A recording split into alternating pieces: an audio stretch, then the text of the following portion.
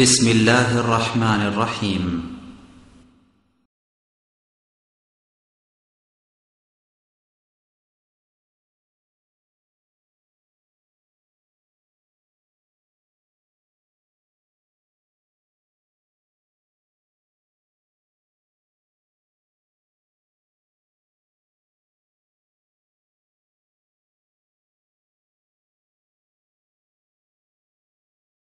الحمد لله الحمد لله نحمده ونستعينه ونستغفره ونؤمن به ونتوكل عليه. ونعوذ بالله من شرور أنفسنا ومن سيئات أعمالنا. من يهده الله فلا مضل له ومن يضلل فلا هادي له. وأشهد أن لا إله إلا الله وحده لا شريك له. وأشهد أن محمدا عبده ورسوله.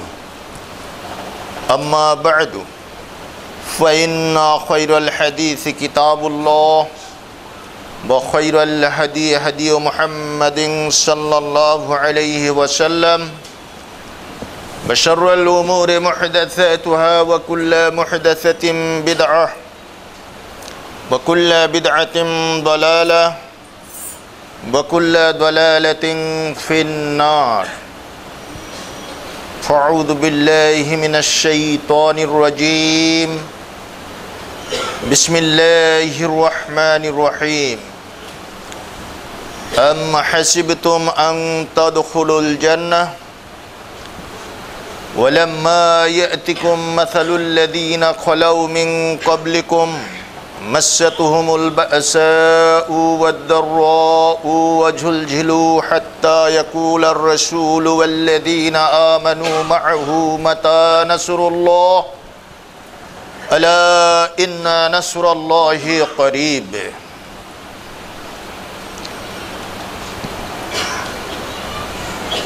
وعن عبد الرحمن بن عوف رضي الله تعالى عنه قال قال رسول الله صلى الله عليه وسلم أبو بكر في الجنة وعمر في الجنة وعثمان في الجنة وعلي في الجنة وطلحة في الجنة والزبير في الجنة وعبد الرحمن بن عوف في الجنة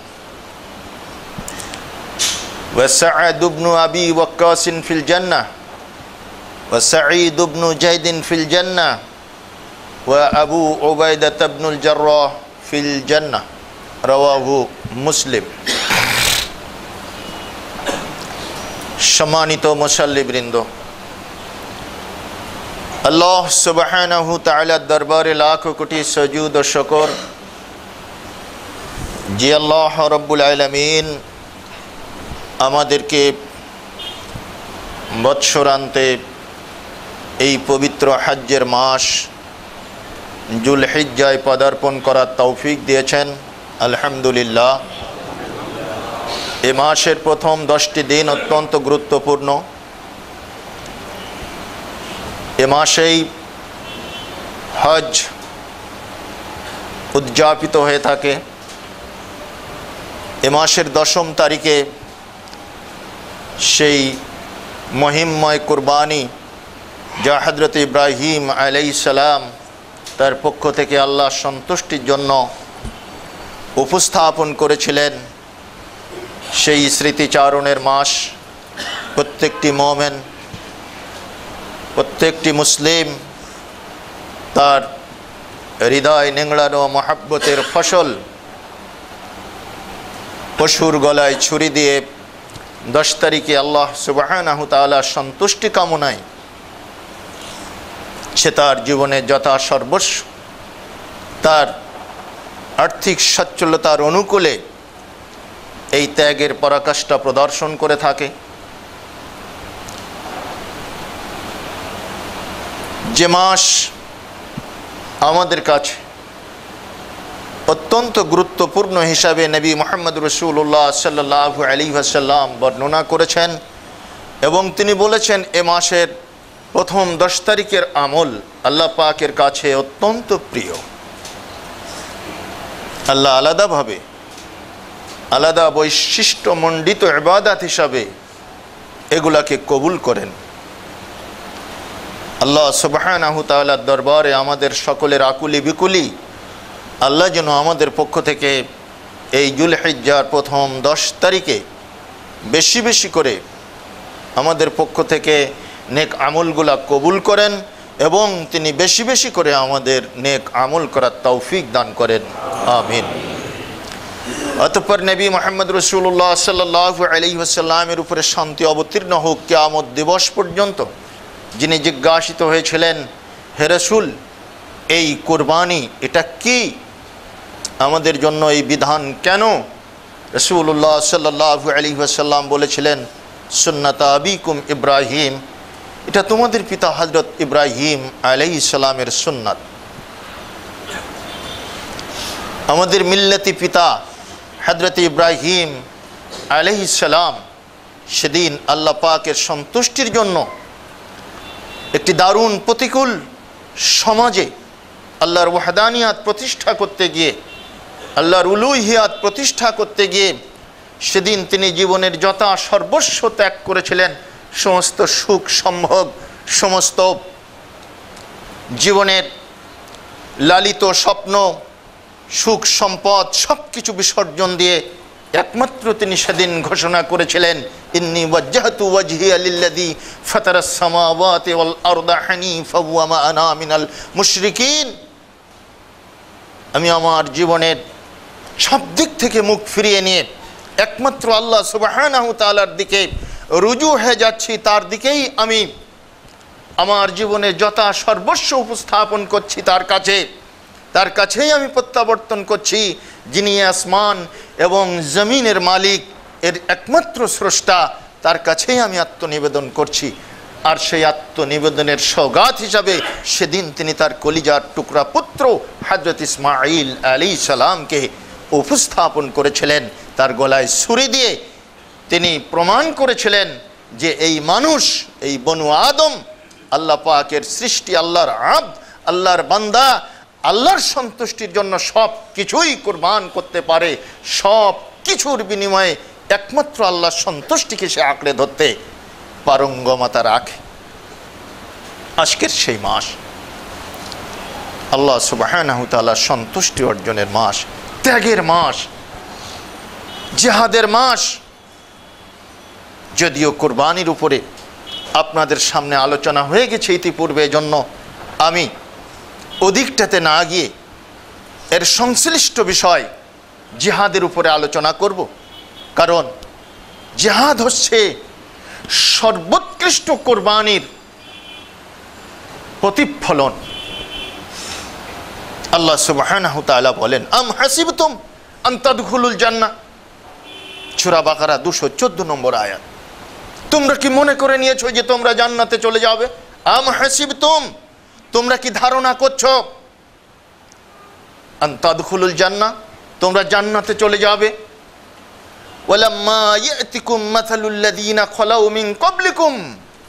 অথচ তোমাদের পূর্ববর্তীদের মতো তোমাদের পরীক্ষা করা হবে না, বিনা পরীক্ষায় তোমরা জান্নাতে চলে যাবে। এটাই কি ধারণা করে নিয়েছ?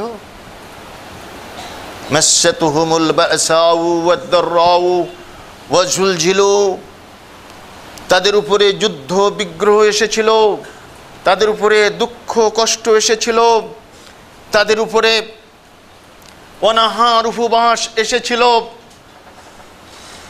তাদের উপরে এসেছিল ভয় ভীতি তারা সবাই প্রকম্পিত হতো তারা থরথর করে কাঁপত এমতো অবস্থায় তারা বলতো حتى يقول الرسول والذين آمنوا معه متى نصر الله এমন কি তারা এতটা ভীত সন্ত্রস্ত হয়ে পড়তো যে রাসূলগণের সাথে যারা ঈমান আনায়ন করেছিলেন তারা সকলেই আল্লাহ সুবহানাহু তাআলার কাছে বলতেন মাতা নাসরুল্লাহ আল্লাহ তোমার সাহায্য কবে আসবে? কবে পাবো? আমরা তো শেষ হয়ে যাচ্ছি। আমরা তো নিঃশেষ হয়ে যাচ্ছি। আমাদের অস্তিত্ব তো বিলীন হতে চলেছে। প্রতিপালক, কবে তোমার সাহায্য আসবে? আল্লাহ উত্তর দিচ্ছেন আল্লাহ করিব। সাবধান, হুঁশিয়ার শুনে নাও। আমার সাহায্য অতীব নিকটবর্তী।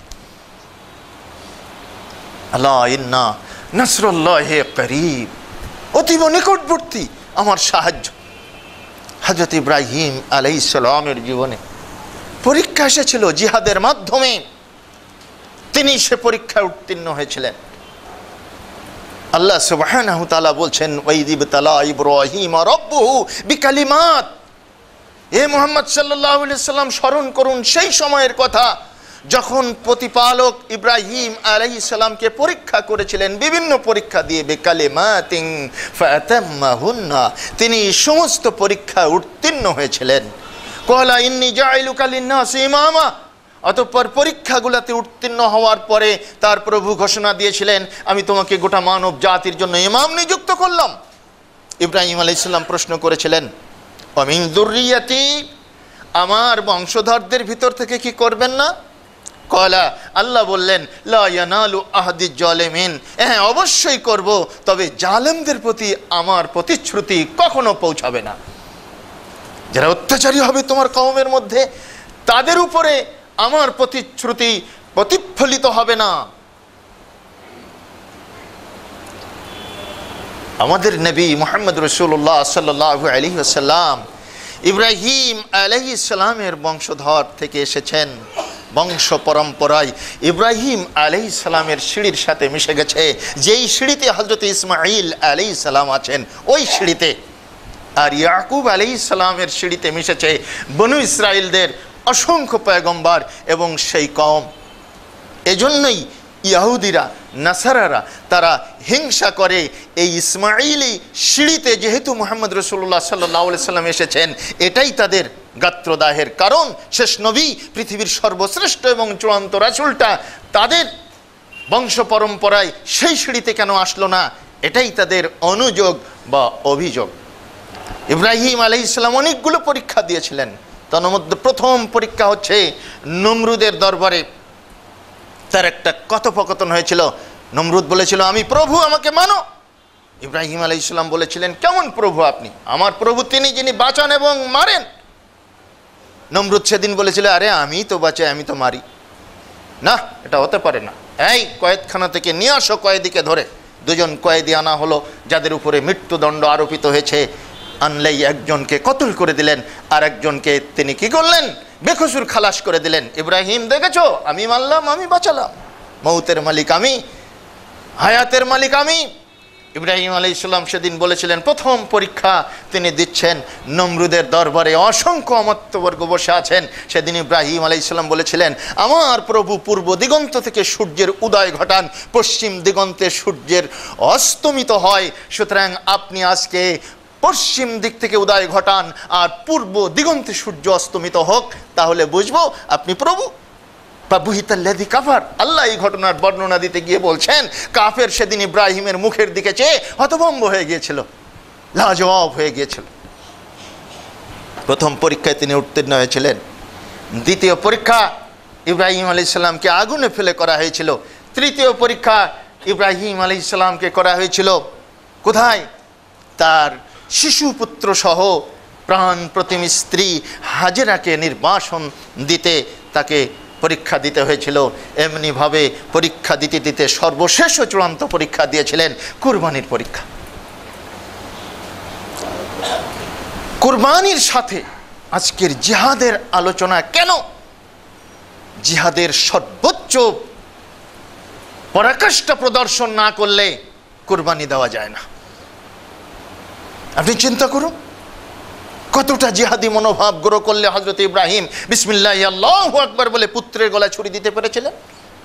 আল্লাহ সেই কথাটা স্মরণ করিয়ে দিয়ে বলছেন, অতীতের ওম্মত অতীতের মানব গোষ্ঠী যেভাবে আল্লাহ পাকের দরবারে পরীক্ষা দিয়েছে, তোমরা পরীক্ষা ছাড়াই আন্তাদ খুলুল জান্না জান্নাতে অনুপ্রবেশ করবে, এরকম ধারণা করেছ? না, এটা অসম্ভব। তোমাকে পরীক্ষা দিতে হবে। তাদের অবস্থাটা কেমন ছিল? যুদ্ধ বিগ্রহের সম্মুখীন তারা হয়েছিল। ক্ষুধা তৃষ্ণা ক্ষুদ পিপাসা জর্জরিত হয়ে এমন নির্যাতিত এবং নিষ্পেষিত তারা হয়েছিল। রাসুলগণ এবং তাদের সাথে যারা ইমান এনেছিল, তারা হাহাকার করে বলতো, মাতা নাসরুল্লাহ, প্রতিপালক, কবে তোমার সাহায্য আসবে? আল্লাহ জবাব দিচ্ছেন আল্লাহ ইন্না নাসরুল্লাহ করিব। আমার সাহায্য অতীব নিকটবর্তী। অনুরূপ একটি অবস্থার সম্মুখীন হলেন। ইসলামের নবদীক্ষিত মুসলিমও কিছু মুসলিম, যারা মক্কা নগরীতে আর টিকতে পারল না। মোহাম্মদ রসুল্লাহ সাল্লাহ আলী ভাসাল্লাম তাদেরকে হিজরতের অনুমতি দিলেন। তারা হিজরত করে মদিনায় চলে গেল। রসুল আরবি সাল্লাহ আলী আসাল্লামও এক পর্যায়ে তাদের সাথে মিলিত হলেন। মিলিত হবার পরের বছরই দ্বিতীয় হিজড়ি সাল। রোজা ওই বছর ফরজ হয়েছে শ্যাম ফরজের সাল। বদরের যুদ্ধ সংগঠিত হয়েছিল, ইসলামের প্রথম ধর্ম সমর হচ্ছে বদর। এই বদরের যুদ্ধে সাহাবাইক রাম রেদওয়ানুল্লাহ আলাই ত্যাগের যে মহিম্ময় পরাকাষ্ঠা প্রদর্শন করেছিলেন, তারা যে জান, মাল এবং জীবনের যথা সর্বস্ব আল্লাহর পথে কোরবানি করে ইসলামের মশালকে দেদীপ্যমান করে পৃথিবী বুকে জ্বালিয়ে দিতে চেয়েছিলেন। আজকে যার ফলশ্রুতিতে ইসলাম আমাদের এই বাংলাদেশের পর্ণকুটির পর্যন্ত পৌঁছে গেছে, ভূপৃষ্ঠের বিভিন্ন কেন্দ্রবিন্দুতে ইসলামের আলোক বর্তিকা মশালের মতো উজ্জ্বল হয়ে জ্বলছে। এর ব্যবস্থা এবং এর মাধ্যম হিসাবে রাসুল আরবি সাল্লাহ আলি সাল্লামের সাথে যারা সীসা ঢালা প্রাচীরের মতো কাজ করেছিলেন, জীবনের যথা সর্বস্ব কোরবানি করে সেদিন বদর প্রান্তরে রুখে দাঁড়িয়েছিলেন সেই অপশক্তির বিরুদ্ধে।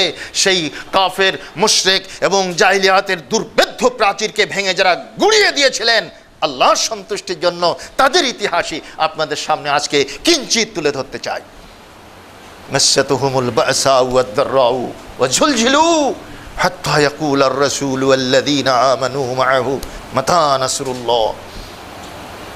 এমনি আমরা জান্নাতে যাব, বিনা পরীক্ষা এটা কোশ্চিন কালেও হতে পারে না। পরীক্ষা আপনাকে আমাকে দিতেই হবে। এই পরীক্ষা চূড়ান্ত পর্যায়ে হচ্ছে জান দিয়ে পরীক্ষা, অর্থাৎ জেহাদের ময়দানে ইসলামের বিরোধী শক্তিকে অপসারণ করার জন্য, বিরোধী শক্তিকে রুখে দেওয়ার জন্য সেটাকে পদানত করে ইসলামের আলোক বর্তিকা জ্বালিয়ে দেওয়ার নিমিত্তে মোমেনের সর্বশ্রেষ্ঠ সর্বোৎকৃষ্ট এবং জীবনের শেষ যে প্রণিপাত, শেষ যে অর্ঘমাল্য শেষ যে কুরবানি, শেষ যে উৎসর্গ, সেটা হচ্ছে তার জীবন, আর জিহাদের ময়দানে সেটাই সে কোরবানি করে থাকে। আমরা পশু কোরবানি করে কোরবানির মহোৎসব পালন করি।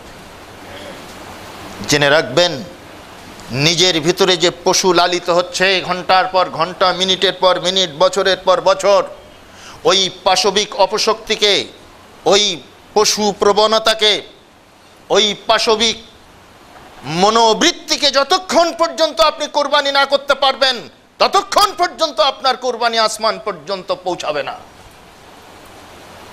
পশুর গলায় মোমেন ছুরি দিয়ে কোরবানির মহোৎসব করে থাকে। মূলত আমাদের ভিতরে যে পাশবিক প্রবৃত্তি রয়েছে, সেটার গলায় কোরবানি দেওয়ার কথা ছিল। তাহলে আসল কোরবানি আসল কোরবানি উদযাপিত হতো বা প্রতিপালিত হতো। কিন্তু সেটা আমরা কে কতটুকু পারছি, একটু হিসাব করে দেখতে হবে। পরীক্ষা আপনাকে আমাকে দিতেই হবে, পরীক্ষাতেই পুরস্কার। পরীক্ষাতেই মুক্তি রয়েছে। নবীজি আসলেন, হিজরত করে মক্কা থেকে রিক্ত হস্তে মুষ্টিমেও সাহবাইক রাম মদিনায় এসেছেন। রসুল সাল্লাহ আলী সাল্লাম তাদের সাথে মিলিত হয়েছেন। মক্কার অলিতে গলিতে দাওয়াতের কাজ চলছে, দাওয়াত দাওয়াত ও তবলিগের কাজ চলছে। তবলিগ, এর অর্থ আজকে বাংলাদেশের মাটিতে চিল্লা দেওয়া হয়েছে। তবলিগ, এটা উচ্চারিত হলেই আমরা বুঝি যে একটি বিশেষ দলের সাথে গাট্টি বুসকা খাবার দাবার নিয়ে মসজিদে মসজিদে গিয়ে গস্ত করা, প্রচার করা দিনের সয়ুসুল শেখানো এর নাম তবলিগ। আরে মসজিদে যাদের কাছে তাবলিগ করছেন, এরা তো মুসলিম, এরা তো মোমেন বলেই মসজিদে এসেছে। এদের কাছে কিসের তাবলিক যারা ইসলাম বুঝে না, জানে না তাদের কাছে গিয়ে তাবলিক করতে হবে। এটাই প্রচার, সাহাবাই কেরাম রেদওয়ানুল্লাহ জীবনের সব কিছুকে কোরবানি দিয়ে তাদের কাছে দাওয়াত দিতে লাগলেন। কত বাধা, কত বিপত্তি, কত প্রতিকূল পরিবেশ, কত ভয়, সংকুল রাস্তা। যে কোনো মুহূর্তে জীবন পাখি উড়ে যেতে পারে যে কোনো মুহূর্তে তারা মকতুল হয়ে যেতে পারে, শহীদ হয়ে যেতে পারে। তাদের জীবনের উপরে হুমকি আসতেছে, তাদের যথা সর্বস্ব কেড়ে নেওয়া হয়েছে। হজরত আব্দুর রহমান বিন আউফ রাদি আল্লাহ তালা আনহু যে যিনি এই হাদিস বর্ণনা করছেন, রসুল আরবি সাল্লাহ সাল্লাম বলছেন, শোনো, আমার সাহাবিদের ভিতরে দশ জন সাহাবির জন্য আমি জান্নাতের খোঁজ খবর দিয়ে যাচ্ছি। আবু বকার জান্নাতে যাবে, ওমর জান্নাতে যাবে, ওসমান জান্নাতে যাবে, আলী জান্নাতে যাবে, তালহা জান্নাতে যাবে, জুবাইর জান্নাতে যাবে, আব্দুর রহমান বিন আউফ জান্নাতে যাবে, সাঈদ বিন আবি ওক্কাস সাদ উবনু আবি ওক্কাস জান্নাতে যাবে, সাঈদ বিন জায়েদ জান্নাতে যাবে। আর আবু ওবায়দা ইবনুল জার্রাহ রাদিয়াল্লাহু রেদওয়ানুল্লাহি আলাইহিম আজমাইন, তারা জান্নাতে যাবেন। এই হাদিসের বর্ণনাকারী আব্দুর রহমান বিন আউফ মদিনার পথে রওনা হয়েছেন। তার শালক গোষ্ঠী এসে তার স্ত্রী পুত্রদেরকে কেড়ে নিল, তুমি যাবে, যাও। আমাদের বোন, আমাদের ভাগিনা ভাগ্নি এদেরকে রেখে যাও। এদেরকে তোমার সাথে যেতে দেওয়া হবে না। তারা কেড়ে নিল। তিনি বণিক মানুষ ছিলেন, সচ্ছল ব্যক্তি ছিলেন। উটের পিঠে তার ধন সম্পদ। মদিনায় রওনা করা হয়েছে। তিনি নিয়ে যাচ্ছেন তার মাল ও সামান। আরে, আমরা তো ভুল করলাম। বন ভাগনাদেরকে রেখে দিলাম। অথচ এদের ভরণ পোষণের জন্য তো আমরা মাল সমানা কিছুই রাখলাম না। আবারও দুরন্ত হায়নার মতো আক্রমণ করে আব্দুর রহমান বিন আউফের কাছ থেকে সমস্ত মাল সামানা কেড়ে নিয়ে তারা রেখে দিল। রিক্ত হস্তে পদব্রজে আব্দুর রহমান বিন আউফ চলেছেন মরুভূমির উপর দিয়ে। হাঁটতে হাঁটতে পায়ের নিচে ঠোস পড়ে গেছে। ফুসকাগুলো ফেটে ফেটে রস বের হচ্ছে। আব্দুর রহমান বিন আউফ রাদি আল্লাহ তালাহু ঠোঁট ফেটে রক্ত বের হচ্ছে। আর মনে হয়, আমি এই জীবনকে ধরে রাখতে পারব না। জীবন প্রদীপ মনে হয় যে কোনো মুহূর্তে নিভে যাবে। তাই আকুলি বিকুলি করছে। কীভাবে মস্তবচারণের স্মরণ লাভ করা যাবে? কীভাবে নবীজির পর্যন্ত পৌঁছে? জীবনের যথা সর্বস্ব তার কাছে উপস্থাপন করে আল্লাহর সান্নিধ্য লাভ করা যাবে। প্রাণান্ত পরিশ্রম করে তিনি পথ চলেছেন। মরুভূমি কাতা করতে করতে যখন মদিনায় পৌঁছে গেছেন, সমস্ত পা ফেটে রক্ত ঝরঝর করে পড়ছে, ঠোঁট ফেটে রক্ত পড়ে বুক ভেসে যাচ্ছে। এমতো অবস্থায় নবী মোহাম্মদ রসুল্লাহ সাল্লাহ আলী সাল্লামের সামনে গিয়ে, ইয়া রসুল্লাহ সাল্লাহ আলী সাল্লাম আমি আব্দুর রহমান, আমি হাজির হয়ে গেছি। এ কি তোমার অবস্থা? তোমার বাহন কই? কেড়ে নিয়েছে দুর্বৃত্তরা। তোমার স্ত্রী পুত্রের কি অবস্থা? কেড়ে নিয়েছে দুর্বৃত্তরা তোমার মাল সামানার কি অবস্থা? সব কিছু আমার কাছ থেকে ছিনিয়ে নিয়েছে হেরসুল আমি শুধু ইমানটুকিকে পুঞ্জি করে আপনার কাছে এসেছি। ইয়া রসুল্লাহ হে আমি আর কিচ্ছু আনতে পারিনি।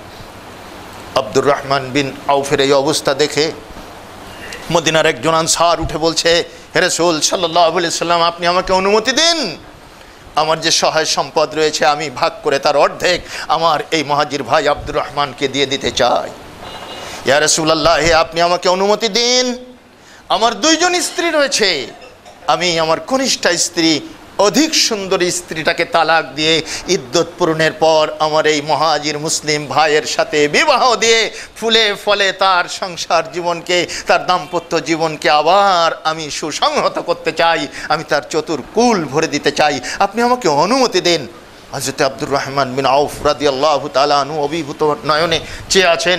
এই আনসার ভাইয়ের দিকে তিনি বললেন, ইয়া রসুল্লাহ সাল্লাহ আলী সাল্লাম আপনি বলুন আমার ওই ভাইকে আমার প্রয়োজন হবে না। আমি পেয়ে গেছি। আমাকে মদিনার বাজার দেখিয়ে দিন। আমি বাজারে গিয়ে ব্যবসা শুরু করব। তাকে বাজার দেখিয়ে দেওয়া হয়েছিল। তিনি ব্যবসা শুরু করেছিলেন। আল্লাহ তাকে বরকত দিতে দিতে আবার তাকে ধনী বানিয়ে দিয়েছিলেন। এভাবেই পরীক্ষা দিয়েছিলেন তারা।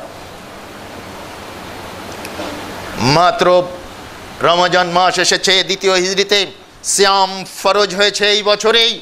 নতুন শ্যাম পালন করতেছেন সাহাবাই কালাম রেদওয়ানুল্লাহ আলাইহিম আজমাইন রাসুলের সাথে হঠাৎ করে যুদ্ধের দামামা বেজে উঠল বদর প্রান্তরে, জিহাদের ডাক এসে গেল।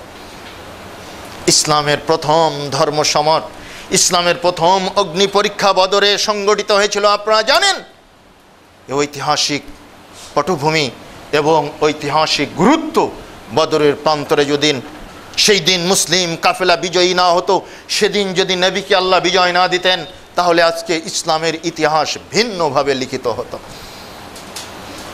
এই জন্যই রসুল আরবি সাল্লাহ আলী যুদ্ধ শুরুর আগে আল্লাহ নবী একটি খিমার মধ্যে, সেই খিমার নাম ছিল আরিশ। আরিশের ভিতরে গিয়ে আল্লাহ নবী দোয়া করতেছেন আল্লাহ হুম্মা ইন তহলিক ফিল আরদ। হে আল্লাহ, যদি আপনি আজকের বদরের প্রান্তরে এই মুসলমানদের ছোট্ট দলটাকে নিশ্চিন্ন করে দেন জমিনের বুক থেকে, তাহলে এই জমিনের বুকে আপনার এবাদাত বন্ধ হয়ে যাবে, আপনার ওয়াহাদানিয়াতের স্লোগান আর কোনো দিন হবে না, আপনার উলুহিয়াত প্রতিষ্ঠিত হবে না। হে আল্লাহ, এই ছোট্ট দলটিকে আপনি ধ্বংস করে দেবেন না, এদেরকে আপনি মদত দিন, এদেরকে আপনি নুসরত করুন। হে আল্লাহ, আপনার উপরে আর কেউ সাহায্যকারী নেই।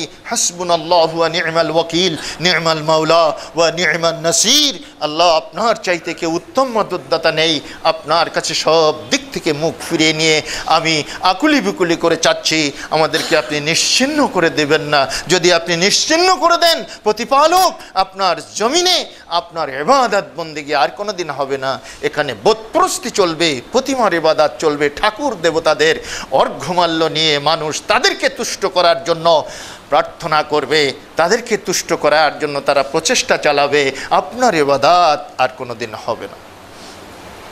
হজরত আবু বকার সিদ্দিক রাজি আল্লাহ আনহু আরিসের বাইরের থেকে আল্লাহর নবীর বুক ভেজা কান্না দেখে বলছেন ইয়াকফিক আল্লাহ ইয়াকফিকা হেরসুল আপনার জন্য যথেষ্ট হয়েছে। হেরসুল আপনার জন্য যথেষ্ট হয়ে গেছে। আপনি আসুন আল্লাহ তাআলা আপনার দোয়া কবুল না করে পারবেন না।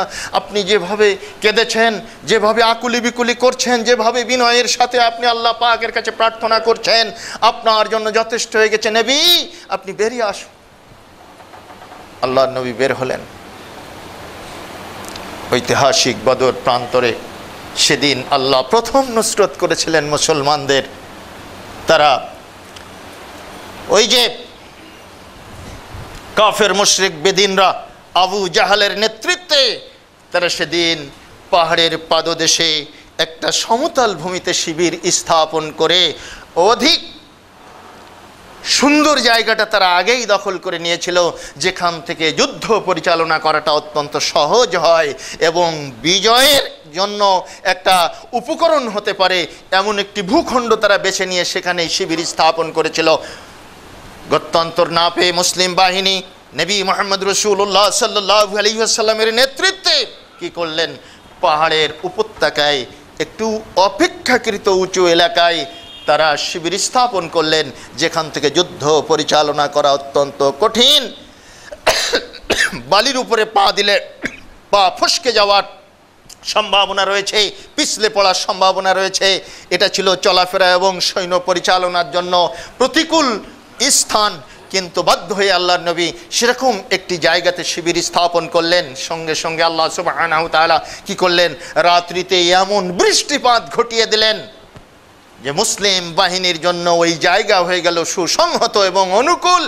আর কাফের বাহিনী যেখানে শিবির স্থাপন করেছিল, সেটা হয়ে গেল কর্দমাক্ত, সেটা হয়ে গেল স্যাঁতস্যাঁতে এবং তাদের সেখানে অবস্থানটা হয়ে গেল খানিকটা পিচ্ছিল টাইপের সেটা যুদ্ধের জন্য আর অনুকূল থাকল না। আল্লাহর এটা ছিল প্রথম বিজয়, প্রথম নুসরাত।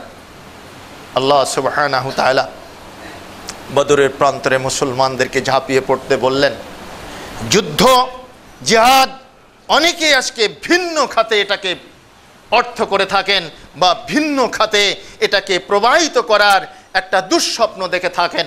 কশ্চিনকালেও না। যুদ্ধ এবং জেহাদ সব সমাজে সব ধর্মে স্বীকৃত। অন্যায় এবং অপশক্তির বিরুদ্ধে ন্যায় এবং হকের শক্তি চিরদিনই রুখে দাঁড়িয়েছে। এটা শাশ্বত একটি বিধান, সব সমাজে সব ধর্মে এটা স্বীকৃত একটি বিধান। জেহাদ মানে কোনোদিন সন্ত্রাসী তৎপরতা নয়, মানুষ মারার কোনো সংগ্রাম নয় জেহাদ। জেনে রাখবেন, ইসলামের জিহাদ বা যুদ্ধ মানুষ মারার কোনো মাধ্যম নয়, মানুষ মারার কোনো পরিকল্পনা নয়, বরং মানুষকে বাঁচানোর একটি উপায়, মানুষকে বাঁচানোর একটি পরিকল্পনা, একটি শাশ্বত বিধান। সুরা মায়েদার বত্রিশ নম্বর আয়াতে আল্লাহ সুবাহ তাই বলে দিয়েছেন, শোনো, তোমাদের মধ্যে ভুল বুঝাবুঝির সৃষ্টি হতে পারে, জেনে রেখে দিও। মান কতালা নাফসাম বেগাইরে নাফসিন আও ফাসাদিন ফিল আরদ ফাকান্নামা কতালা নাসা জামিআ। ওমান আহইয়াহা ফাকান্নামা আহিয়ান নাসা জামিয়া যে ব্যক্তি অন্যায়ভাবে ভূপৃষ্ঠে ফাসাদ সৃষ্টির জন্য, বিভিন্ন রকমের বিপর্যয় সৃষ্টির জন্য একজন মানুষকে হত্যা করল, সেজন্য গোটা মানব জাতিকে হত্যা করল, পক্ষান্তরে যে ব্যক্তি একজন মানুষকে বাঁচিয়ে দিল, সেজন্য গোটা মানব জাতিকে বাঁচিয়ে দিল। সুতরাং জিহাদের অপব্যাখ্যা করার কোনো সুযোগ নেই। কোনো রকমের অবকাশ নেই। জিহাদ হচ্ছে মানুষ, বাঁচানোর আন্দোলন, যুদ্ধ হচ্ছে মানুষকে, বাঁচানোর প্রক্রিয়া, মানুষ মারার প্রক্রিয়া না। তা যদি হতো, বদরের ময়দানে যেদিন আল্লাহ পাক মুসলমানদের বিজয় দিয়েছিলেন, যেদিন কাফের শক্তি পরাভূত হলো, আবু জাহালের মতো এত বড় কট্টর কাফের, সেখানে নিহত হয়ে গেল সেদিন তারা পলায়ন পর অবস্থায় জীবন বাঁচানোর জন্য এলো, পাতাড়ি ছোটাছুটি করছে। সাহবাইক রাম রেদওয়ানুল্লাহ আলাইহিম আজমাইনকে আল্লাহর নবী সেদিন যদি লেলিয়ে দিতেন, তাদের পিছনে যদি তাদের হত্যা করার জন্য উৎসাহিত করতেন, একটা কাফের ময়দান ছেড়ে পালাতে পারতো না। নেবিজি সেদিন হাত সানি দিয়ে সোচ্চার কণ্ঠে সমস্ত বদরের মুজাহিদদেরকে লক্ষ্য করে বললেন, ওয়াসারিউ ইলা মাগফিরাতিম মির রাব্বিকুম ওয়া জান্নাতিন আরজুহাস সামাওয়াতি ওয়াল আরদ। হে বদরের প্রান্তরের মুজাহিদরা শোনো, তোমরা ওয়াসারিউ ইলা মাগফিরাতিম মির রাব্বিকুম, তোমাদের প্রভুর ক্ষমার দিকে ধাবিত হও।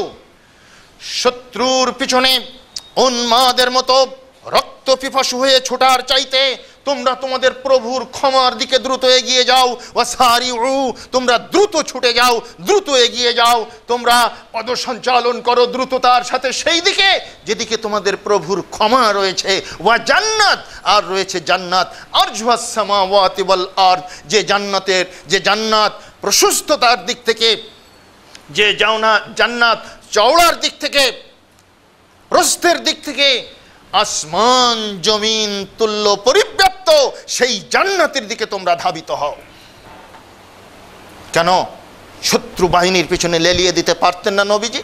সেদিন বিপর্যস্ত কাফেররা ছুটে পালাচ্ছে, সবাই শিবিরের দিকে যাচ্ছে, সবাই নিজের গাঁ, গাঁয়ের দিকে যাচ্ছে, সবাই নিরাপদ দূরত্বে যাওয়ার জন্য আকুলি বিকুলি করছে, প্রাণ ভয়ে ছুটে পলায়ন পর এমতো অবস্থায় আল্লাহ নবী তাদেরকে হত্যা করতে নির্দেশ দিতে পারতেন, কিন্তু তা তিনি দেননি নবীজি বললেন ও সারি উইলা মগফুরাতিমির রব্বিকুম তোমরা তোমাদের প্রভুর ক্ষমার দিকে ধাবিত। বদরের যুদ্ধে মুসলিম বীর মুসলিম মুজাহিদরা যে ত্যাগের মহান পরাকাষ্ঠা দেখিয়েছিলেন, তা ঐতিহাসিকভাবে বর্ণনা করলে জুমার খুদ্া কেন? বহু সময় ধরে বক্তব্য দিলেও তা শেষ করা যাবে না। শুধু একজন সাহাবি কি ভূমিকা রেখেছিলেন সেদিন? কতটা ত্যাগের পরাকাষ্ঠা তিনি প্রদর্শন করতে পেরেছিলেন? সেটাই আপনাদের সামনে বলব। তিনি হচ্ছেন এই দশজন সাহাবির দশম নম্বর সাহাবি হজরত আবু ওবায়দা ইবনুল জার্রাহ রাদিয়াল্লাহু তাআলা আনহু। কত বড় পরীক্ষা তিনি দিয়েছিলেন, কত বড় কোরবানি তিনি দিয়েছিলেন সেদিন। আবু উবায়দা ইবনুল জার্রা ফিল জান্না দশম নম্বরে এসে বিশ্ব নবী মোহাম্মদ রসুল্লাহ সাল্লাহ আলি সাল্লাম ঘোষণা করলেন, আবু ওবায়দা ইবনুল জার্রাও জান্নাতে যাবে। এর মানে এই নয় যে এই দশজন ছাড়া আর কোনো সাহাবি জান্নাতে যাবেন না, তা নয়। কিন্তু এই দশজন সাহাবির নাম বিশেষভাবে উল্লেখ করার কারণ হচ্ছে ইসলামের খেদমতে এই দশ জনের বিশেষ ভূমিকা রয়েছে, বিশেষ কর্মকাণ্ডের কারণে তাদেরকে বিশেষিত করা হয়েছে। তারা এভাবে উল্লেখিত হয়েছেন নবীজির মুখের হাদিছে মুখ নিঃসৃত হাদিসের বাণীতে। এভাবেই তাদের নাম এসেছে বিশেষ বৈশিষ্ট্যের কারণে। দশম নম্বর সাহাবি আবু উবায়দা ইবনুল জার্রা তার উপাধি ছিল আমিনুল উম্মা। অর্থাৎ এই উম্মতের আমানাতদার এই উম্মতের আমানাতদার যুবক ছেলেরা কান খুলে শুনতে হবে, যুবক মুসল্লিদের জন্য সুসংবাদ। ইসলামের জন্য কতটা ত্যাগ প্রয়োজন? ইসলামের জন্য কতটা ছাড় দিতে হবে, ছেড়ে দিতে হবে, তরক করতে হবে, এখানেই বোঝা যাবে। রসুল্লাহ সাল্লাহ আলী ওয়াসাল্লাম বলছেন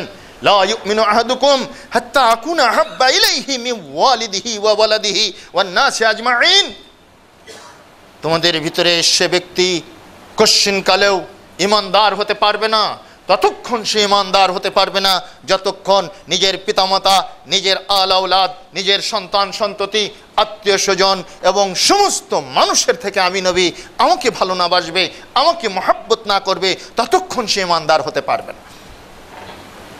নবীকে মহাব্বত করা মানে কি? নবীর নাম শুনে আঙ্গুলে চুমু খাওয়া?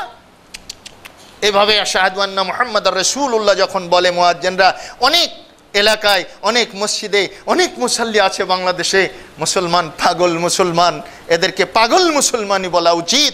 এরা নবীর নাম শুনে এই বৃদ্ধাঙ্গুলের নখে চুমু খায়। নবীকে মহাব্বত করে। জি না? কশ্চিন কালেও না। নবীর মহাব্বত মানে হচ্ছে নবীর আদর্শকে বুকে আঁকড়ে ধরা, ধারণ করা। এটাই রাসুলের মহাব্বত। ফিজিক্যাল, শারীরিকভাবে নবীকে আদর করা, যত্ন করা, স্নেহ করা, মমতা দেখানো যদি মহাব্বত হতো, তাহলে আবু তালেবের আগে কেউ জান্নাতে যেতে পারতো? রাসুলের চাচা, যিনি কলেফিটে করে নবীকে মানুষ করলেন হ্যাঁ? তিনি তো জান্নাতে যেতে পারবেন না। কারণ তিনি রাসুলের আদর্শকে কবুল করেননি। নবীকে খুব মহাব্বত করেছিলেন। ফিজিক্যালি ভাবে নবীকে মহাব্বত করা, ভক্তি করা মানে রাসুলের মহাব্বত নয়, রাসুলের আদর্শকে গ্রহণ করতে হবে। তাহলেই নবীকে মহাব্বত করা হবে। রসুল সাল্লাহ সাল্লাম বলছেন, দেখো, আমাকে ভালো না বাসতে পারলে সবার চাইতে মোমেন হতে পারবেন কঠিন কথা। বদরি যুদ্ধের দিন। সাহবাই কালাম রেদওয়ানুল্লাহ আলহিম আজমাইন সকলেই আজকে জানের মায়া, স্ত্রী পুত্র, কন্যা, সহায় সম্পদের মায়া সব কিছু ত্যাগ করে চলে গেছেন জিহাদের ময়দানে। একমাত্র আল্লাহ এবং তার রাসূল তাদের কাছে আজকে সবচাইতে প্রিয়, সবচাইতে আদরের, সবচাইতে মহাব্বতের আল্লাহর হুকুম আর নবীজির আদর্শ এই দুটোকে সমুন্নত করার জন্য তারা আজকে আত্মাহুতি দিতে চলেছেন মাত্র তিনশত তেরো জন সৈনিক। পক্ষান্তরে শত্রু বাহিনী এক হাজারের অধিক। তারা রণসম্বরে সুসজ্জিত, আর মুসলমানরা প্রায় রিক্ত হস্ত বললেও অতুক্তি হয় না। পদাতিক একটি ছোট্ট বাহিনী নিয়ে আল্লাহর নবী একমাত্র আল্লাহর নুসরাত, আল্লাহর সাহায্যকে অবলম্বন করে জিহাদের ময়দানে চলেছেন যুদ্ধ শুরু হয়ে গেছে। আরিশের ভিতর থেকে বেরিয়ে নবীজি সৈন্য পরিচালনা করছেন। জেহাদ শুরু হয়ে গেছে, মুসলমান সাহাবিরা, মুসলিম মুজাহিদরা আত্মাহুতি দিচ্ছেন, তারাও শাহাদাত বরণ করতেছেন। পক্ষান্তরে শত্রু বাহিনীও ভূপাতিত হচ্ছে, তারাও নিহত হচ্ছে। এভাবে চলতে চলতে হাজরতে আবু ওবায়দা ইবনুল জার্রহ রাদিয়াল্লাহু তাআলা আনহু দেখলেন, তার জন্মদাতা পিতা রাসূলের পিছন থেকে অতর্কিতে অতি সন্তর্পণে এমনভাবে আক্রমণ পরিচালনা করছে, মুহূর্তকাল বিলম্ব করলেই আবু ওবায়দার পিতার তরবারিটা নবীজির স্কন্ধে নিপতিত হবে আর তাতে আল্লাহ নবীর মস্তক দ্বিখণ্ডিত হয়ে যাবে। এ দৃশ্য দেখে হজরত আবু ওবায়দা রাদিয়াল্লাহু তাআলা আনহু আর স্থির থাকতে পারলেন না। সিদ্ধান্ত নিতে হবে মুহূর্তের মধ্যে। একদিকে নবী আর একদিকে পিতা। যদি পিতার শিরচ্ছেদ না ঘটায়, পিতাকে যদি তিনি বাঁচিয়ে রাখেন, নবীর শিরচ্ছেদ হবে। নবী শাহাদাত বরণ করবেন। আর নবীকে বাঁচাতে গেলে যে মুহূর্ত, এখানে পিতাকে হত্যা করা ছাড়া আর কোনো গত্যন্তর নেই। এবং সেটা মুহূর্তকালের ভিতরে সিদ্ধান্ত নিতে হবে। কাল বিলম্ব করলেন না। হাজরত আবু ওবায়দা রাদিয়াল্লাহু তাআলা তলোয়ার উত্তোলন করলেন। বিদ্যুৎ গতিতে নিজের তলোয়ারটা নিজের পিতার স্কন্ধে বসিয়ে দিলেন। মস্তকটা দ্বিখণ্ডিত হয়ে গেল ধর থেকে আলাদা হয়ে, জমিনে ভূপাতিত হয়ে, থর থর থর থর করে কাঁপছে। ঠোঁট দুটো থেকে কি যেন বেরোতে যাচ্ছে, কিন্তু অস্পষ্ট সে ধ্বনি বোঝা যাচ্ছে না। আবু উবাইদা রাদিয়াল্লাহু তাআলা আনহু চোখ বন্ধ করে ময়দানের এক প্রান্তে চিটকে পড়ে কাঁদতেছেন। অঝোর নয়নে কাঁদতেছেন "এ আমি কি করলাম? প্রতিপালক তোমার নবীকে বাঁচানোর, এছাড়া আমার আর কোনো পথ ছিল না। কিন্তু আমি কি করলাম? নিজের পিতাকে নিজের হাতে এভাবেই হত্যা করলাম। আমি কত বড় কুলাঙ্গার, আমি কত বড় অযোগ্য পুত্র, আমি কত বড় ধিকৃত পুত্র। পৃথিবীর মানুষ যুগে যুগে আমাকে ধিক্কার দেবে। এই কাজে আমি কি করলাম? নিজের পিতার খণ্ডিত মস্তকের এই নির্মিলিত চাহনি অস্পষ্ট ঠোঁট নাড়ানো এ কি কেউ সহ্য করতে পারে, দেখতে পারে। তিনি ময়দানের এক প্রান্তে গিয়ে বুক চাপড়িয়ে কাঁদতেছেন ইস, আমি কি করলাম আজকে? কিন্তু আমার এছাড়া তো কোনো উপায় ছিল না। আমার নবীকে বাঁচাতে, ইসলামের মশালকে জমিনের বুকে দেদীপ্যমান করে জ্বালিয়ে রাখতে, এর কোনো বিকল্প ওয়ে তো আমি পাইনি। মাবুদ, তোমার সন্তুষ্টির জন্য করেছি, আর কিচ্ছু। যুদ্ধে মুসলমানদের বিজয় হয়ে গেল। রসুল সাল্লাম ঘুরে ঘুরে খবর নিচ্ছেন কে কোথায়, কেমন অবস্থায় আছে। যারা শাহাদাত বরণ করেছেন, শাহাদাত প্রাপ্ত সাহাবিদের আলো আয়ালকে তিনি সান্ত্বনা দিচ্ছেন, তাদের জান্নাতের জন্য দোয়া করছেন। নবীজি জিজ্ঞেস করলেন আই না আবু উবায়দা? আবু উবায়দা কোথায়? কোথায় আমার আবু উবায়দা আছে? সাহাবিরা বললেন ওই যে ময়দানের এক প্রান্তে বসে কাঁদছে। আবু উবায়দাকে নিয়ে আসো। নিয়ে আসা হলো আবু উবায়দাকে। কেন কাঁদছো আবু উবায়দা তুমি? সাহাবিরা বললেন, কদ কুতিলা আবুহু তার পিতা নিহত হয়েছে আজকে বদরের প্রান্তরে, তাই আবু উবায়দা পিতৃশোকে কাঁদছে। ও, তাই? এত বড় কাজ তোমরা কে করেছ? আবু উবায়দা? বলো, কে তোমার পিতাকে হত্যা করেছে? নবীজির মুখের ভিতরে রাছুলের বুকের ভিতরে মুখ গুজে ডুকরে কেঁদে উঠে বললেন, কেউ নয়। আমি আমার নিজের হাতেই নিজের পিতাকে হত্যা করেছি।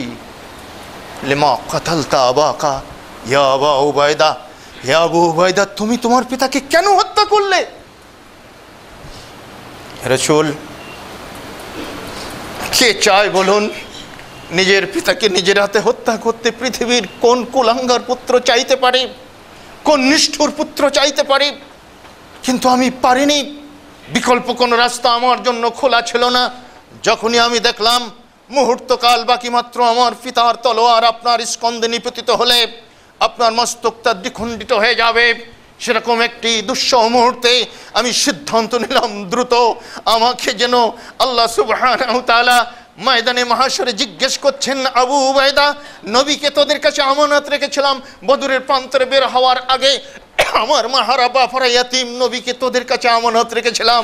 আজকে হাসুরের ময়দান, আজকে আমি আল্লাহ তোদের কাছে চাচ্ছি, আমার সেই আমানত তোরা ফিরিয়ে দে। হে নবী, আমি কি জবাব দিতাম? রসুল আমার জবাব দেওয়ার কি ছিল? আমি তাই কাল বিলম্ব করতে পারিনি।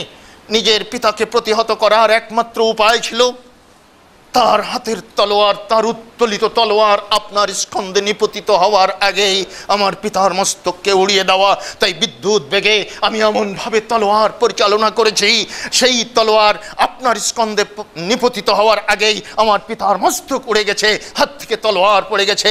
হে নবী আপনি রক্ষা পেয়েছেন, আপনাকে আল্লাহ বাঁচিয়ে দিয়েছেন, নিজের পিতাকে নিজেই হত্যা করে হে রসুল, আপনার ভালোবাসার মহাব্বত আমার হৃদয়ে প্রতিষ্ঠিত করেছি।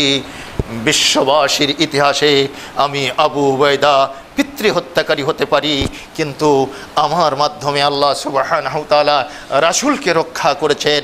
আমার পিতাকে যদি হত্যা না করতাম, তাহলে নবীজি শাহাদাত বরণ করতে পারতেন, তাই এই দুঃসহ কর্ম সম্পাদন করতে আমি বাধ্য হয়েছি। হেরচুল আমি যে এতিম হয়ে গেছি। আমার মুখ থেকে আব্বা ডাকটা তো চিরদিনের জন্য বন্ধ হয়ে গেল হে নবী। রসুল সাল্লাহ আলিয়াল্লাম আবু উভয়দেরকে জড়িয়ে ধরে অঝর নয়নে কাঁদছেন। সমস্ত বদরি সাহাবিদেরকে সম্বোধন করে চিৎকার করে বলছেন, শোনো সাহাবিরা, তোমরা শোনো, আমার উম্মতের ভিতরে তোমরা সিদ্দিক দেখেছ, আবু বকরকে ফারুকে আজম দেখেছ অমরকে ওসমানকে দেখেছ, গনি আসাদুল্লাহ গালিব, আল্লাহর বিজয়ী সিংহ দেখেছ, আলীকে। তোমরা আমানতদার সাহাবিকে দেখুনি? আজকে শুনে নাও, আমিনু হাদিহিল উম্মা, আমিনু হাদিহিল উম্মা, আমিনু হাজিহিল উম্মা। আমার উম্মতের মধ্যে সবচেয়ে বড় আমানতদার সাহাবি হচ্ছেন আবু উবায়দা ইবনুল জাররা। ত্যাগের কি মহান পরাকাষ্ঠা? দেখেছেন? দশই জিল হাজ্যে কোরবানি আমরা করব, ঠিকই আছে। কিন্তু কুরবানির মর্ম কথা উপলব্ধি করতে আমরা কি পেরেছি? আমরা কি পারব? এরকম জিহাদি জজবা নিয়ে আজকের এই পাশবিক নির্যাতন যে সমাজে চলছে, যে জাতি আজকে ধিকৃত দুর্নীতি আর বিভিন্ন ধরনের অপকর্মের গ্লানিতে যারা আজকে নুব্জ, সারা বিশ্ব যাদের দিকে অঙ্গুলি এলিয়ে বলে। বাংলাদেশ, এটা একটি দুর্নীতিগ্রস্ত দেশ। তাদের কাছে কি আমরা কুরবানির মহিম্ময় পরাকাষ্ঠা দেখিয়ে মাথা উঁচু করে এই জিহাদি জজমা নিয়ে প্রমাণ করতে পারব? কি we are Muslim we are accurate we are pure একথা কি আমরা বলতে পারব? যদি পারি, সত্যিকার অর্থে আমাদের কোরবানি হবে সাকসেসফুল আর যদি না পারি, আমরা যদি সেই দুর্নীতির সাইলাবে তৃণলতার মতো ভেসে যাই, তাহলে কি লাভ এই কোরবানির? কি লাভ আমাদের মুসলিম হয়ে? তাই আসুন, মুসলিম যদি আমরা হই, তাহলে এই জিহাদি জজবা আমাদের ভিতরে তৈরি হতে হবে। নফসানি খাওয়ায় সাতকে ভুলুন্টিত করে দিয়ে আল্লাহ এবং তার রাসুলের ফরমানকে বুলন্দ করতে হবে, তবেই আমরা হতে পারব মুসলিম। নিজের নফস চাচ্ছে। ভিন্ন জিনিস চাচ্ছে, অন্যায় জিনিস চাচ্ছে। কিন্তু পবিত্র কোরআন এবং হাদিস চাচ্ছে আমাকে ভিন্নভাবে চলতে আমাকে সন্না মাফিক চলতে, আমাকে আল্লাহ এবং তদীয় রাসুলের হুকুম হাকাম মেনে চলতে, নিজের নাফসানি খোয়াহে সাতকে আগে কোরবানি দিতে হবে। এজন্যই রসুল সাল্লাহ সাল্লাম বলছেন আসাদুল জিহাদে জিহাদুল হাওয়া। উত্তম জিহাদ হচ্ছে, উৎকৃষ্ট জিহাদ হচ্ছে প্রবৃত্তির বিরুদ্ধে জিহাদ করা। নিজের নফস, নিজের প্রবৃত্তিকে যদি আপনি অবদমন না করতে পারেন যদি পাপের আসক্তিকে আপনি দমন করে, পুণ্যের আসক্তিকে আপনি বুলন্দ করতে না পারেন, তাহলেই পরাস্ত হয়ে গেলেন। পরাজিত সৈনিকের মতো আপনি পারলেন না। আপনার ইমানকে ধরে রাখতে আপনি আপনার জিহাদি জজবাকে ধরে রাখতে সুতরাং আসুন, বদরের প্রান্তরের এই মহান সৈনিকদের কাছ থেকে আমরা যে ত্যাগের শিক্ষা গ্রহণ করেছি সেই ত্যাগকে আজকে কাজে লাগাই। আজকে কোরবানির এই মাসে, কোরবানির এই মৌসুমে আমরা আমাদের পশু কোরবানির সাথে সাথে আমাদের নাফসানি খাওয়ায়ে সাত সমস্ত অপকর্মের প্রতি যে আসক্তি রয়েছে, সেটাকেও কোরবানি দিয়ে আমরা আল্লাহ এবং তদীয় রাসুলের অনুসারী অ্যাকুরেট অনুসারী রূপে আত্মপ্রতিষ্ঠা লাভ করি, তাহলেই এই কোরবানির শিক্ষা সার্থক হবে, জিহাদের জজবা আমাদের ভিতরে গ্রহ গ্রহ করবে।